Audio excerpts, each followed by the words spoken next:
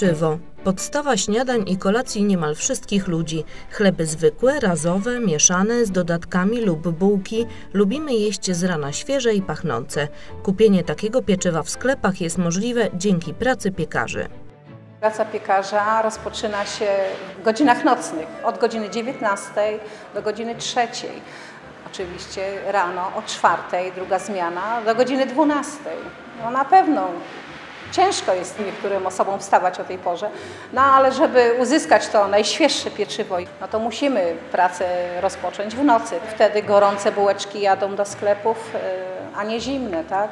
Jak już każdy wstanie, to już może się zachwycać tym pieczywem. W piekarniach wypiekanych jest wiele gatunków pieczywa, bułek i chlebów, które trafiają do sklepów. Są to chleby codzienne, chleby razowe, jak również e, mieszane z ziarnami. Niektóre mają nasiona, są zdobione słonecznikiem czy sezamem.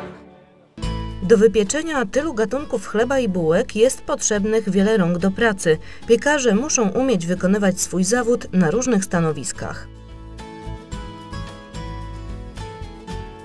Ogólnie to piekarz to powinien znać każde stanowisko, ale jest ciastowy, jest stołowy, jest piecowy, no i jeszcze tutaj u nas dochodzą magazynierki. Ciastowy sporządza ciasta, pilnuje, żeby wszystko było u góry na przy ciastach sporządzone dobrze. Stołowy odpowiada za wagę, za y, narobienie, uformowanie y, kęsów ciasta, a piecowy już po, roz, po rozroście wypiek y, do gotowego wyrobu. Za to, czy pieczywo będzie nam smakowało, jako pierwszy odpowiada piekarz ciastowy, który przygotowuje ciasta do konkretnych rodzajów pieczywa. Na takim stanowisku pracuje pan Marcin Spychalski. Jest piekarzem już niemal 20 lat. Jak zaczynałem zawód, to taki człowiek szczypiorkiem był, jeszcze nieobeznany i pomału starsi koledzy musieli mnie w ten zawód drążyć. Robić to już tak, myślę, że wszystko pomału w miarę dobrze mi idzie. Zdarzają się jeszcze też wpadki, nie mówię, że nie, bo człowiek to nie jest maszyna, tak samo może się pomylić. I tak, nie myli się ten, kto nic nie robi, nie? tak bym to powiedział. No ale im, im więcej w tym zawodzie człowiek, im więcej, jak to się mówi, pracuje, no to już zdobywa te doświadczenia. Przygotowane ciasto, w tym przypadku na chleb razowy na zakwasie, trafia do piekarzy tzw. stołowych. Oni muszą zważyć kęsy ciasta i odpowiednio je uformować w zależności od rodzaju pieczywa. Od 34 lat piekarzem jest pan Mariusz Kępka. Pracowałem na różnych stanowiskach, w różnych piekarniach. Od ucznia, następnie jako piekarz stołowy, ciastowy, piecowy. Byłem nawet brygadzistą swego czasu 10 lat. Zawód piekarza jest zawodem wymierającym. Obecnie prawdziwych piekarzy po szkole to jest połowa. Resztę to tak zwana ulica. No czyli co się młody człowiek pracujący tutaj nauczy, to tylko od nas. Nie jest to aż taki zawód zły, żeby go nie lubić. A poza tym to jest sympatyczne, jak tyle osób kupuje pieczywo wyprodukowane moimi rękoma. Jakaś satysfakcja z tego jest. Piekarz to zawód, który zaczyna wymierać, głównie dlatego, że nie ma chętnych, którzy chcieliby nauczyć się go w szkole zawodowej. Jedyną możliwością jest obecnie uczenie się od mistrzów w zakładach pracy.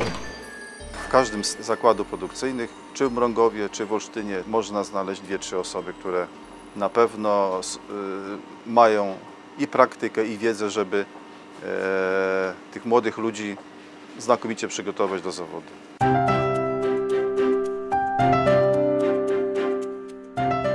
Inaczej jest w przypadku zawodu cukiernika.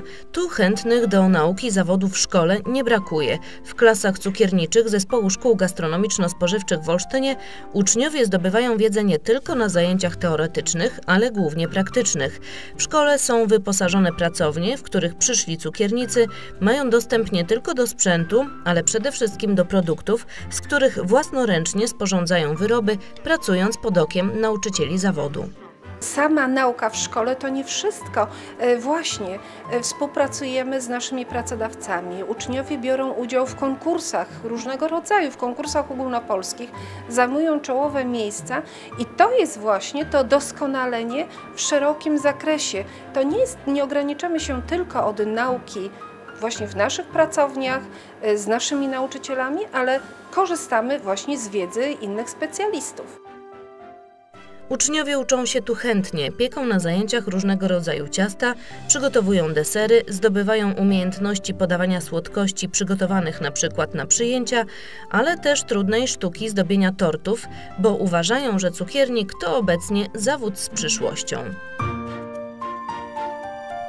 Zdecydowałam się zostać cukiernikiem ze względu na właśnie no, zawód rozwoju.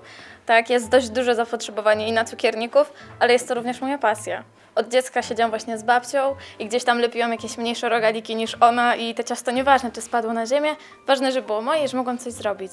Bardzo dobrze przygotowuje mnie ta szkoła. Sądzę, że naprawdę to jest e, porządna szkoła i nie żałuję, że tu się wybrałam. Jest to zawodówka i muszę się jeszcze doszkolić, czyli iść do średniej szkoły i potem do pracy. Jakieś kursy zrobić jeszcze. Oprócz wiedzy, którą daje szkoła, potrzebna jest praktyka, a tę najlepiej zdobywa się w codziennej pracy. Im więcej ciast i ciasteczek wypiecze cukiernik, tym większe zdobywa praktyczne doświadczenie. W rozwoju umiejętności pomocny jest też udział w targach cukierniczych, różnego rodzaju szkoleniach i kursach. Uczeń ma podstawową wiedzę teoretyczną, e, którą nabywa w szkole, natomiast e, w zakładach produkcyjnych, w ciaskarni e, musi zdobyć wiedzę tą praktyczną.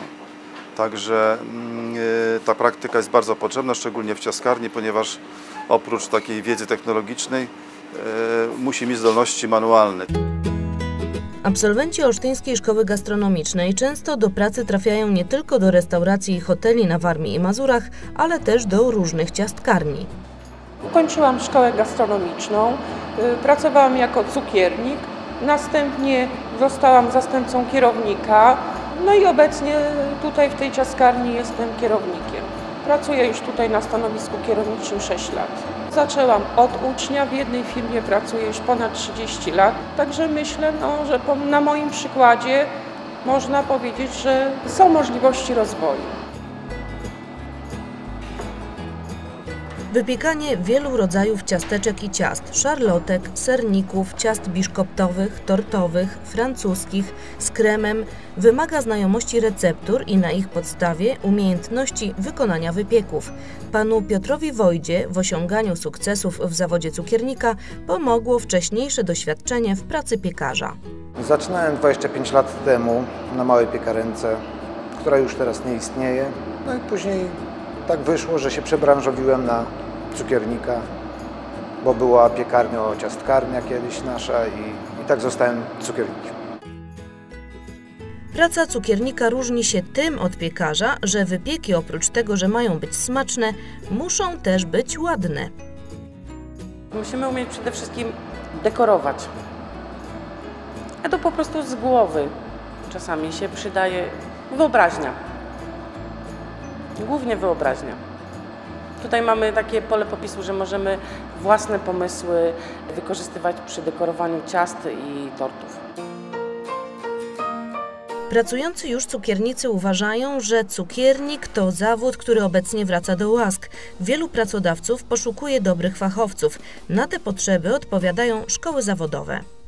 My nie kształcimy tylko po to, żeby wypuścić na rynek załóżmy 20-30 cukierników, tylko odpowiadamy na zapotrzebowanie pracodawców. Jeżeli my wiemy, że pracodawcy oczekują, że przyjdą do nich przygotowani cukiernicy, my jesteśmy w stanie sprawić to, że nasz absolwent przychodzi dobrze przygotowany do pracy.